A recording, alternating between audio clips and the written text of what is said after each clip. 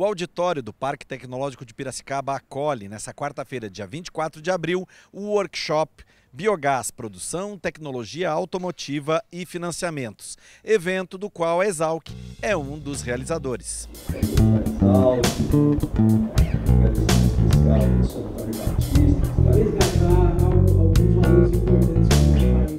A motivação para organizar o evento é o interesse da gente utilizar biocombustíveis para substituir combustíveis fósseis é, nas atividades do agronegócio.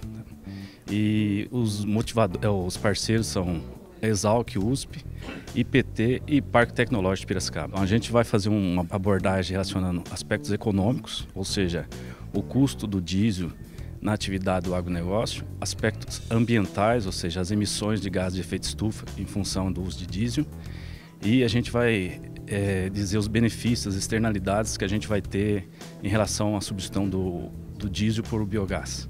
Além disso, vai ter um painel sobre tecnologias de produção, o que a gente tem desenvolvido até o momento e o que precisa melhorar. E também terá um outro é, painel sobre tecnologia automotiva, no qual empresas tipo Scania, Mercedes, Volkswagen e outros players do mercado aí vão apresentar as tecnologias que têm, que já desenvolveram para o primeiro mundo e que já estão disponíveis para o pessoal do, do, do agronegócio utilizar em tratores, colhedoras, caminhões. E na sequência, um quarto painel, a gente vai discutir sobre possibilidades de financiamentos para projetos de P&D e desenvolvimento em pesquisa industrial. Nós sabemos que existe uma, uma grande dependência né, do, dos combustíveis fósseis, principalmente do, do, do diesel, né, do óleo diesel, é, em toda a cadeia produtiva né, e transporte, logística. É, a ideia é cada vez mais você introduzir biocombustível né, nessa cadeia, pra, primeiro para diminuir a, a dependência né, do, do, do, combustível fóssil, principalmente o diesel, que parte dele é, é importado. Né, ah, bom, enfim, ah, essa, substitu essa substituição por combustível fóssil é uma que incrementa toda uma cadeia produtiva do agronegócio, né? É, como gera uma, inde uma independência né, de, de, de, tecnologias de fora. Né? Nós podemos trabalhar um pouco mais tanto na produção desse biogás aqui no Brasil, uh, através do, do vinhoto, através de, lixo, enfim, é, podemos gerar principalmente o biogás de, de, diversas pontes e junto com o gás natural, né, que é tirado da é, para você extrair o, o, petróleo, você tem que extrair o, o gás natural antes.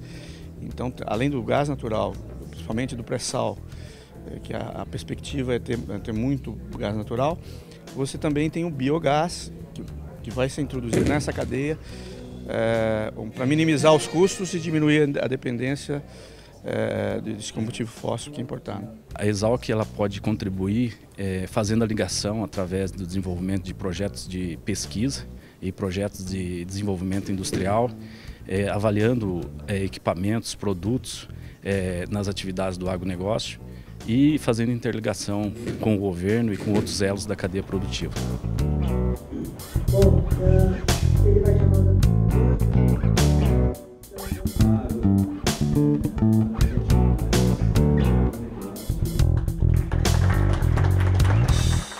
Com imagens de Moacir Gibim e edição de Fábio Torresan, informou Fabiano Pereira para o Exalc Notícias.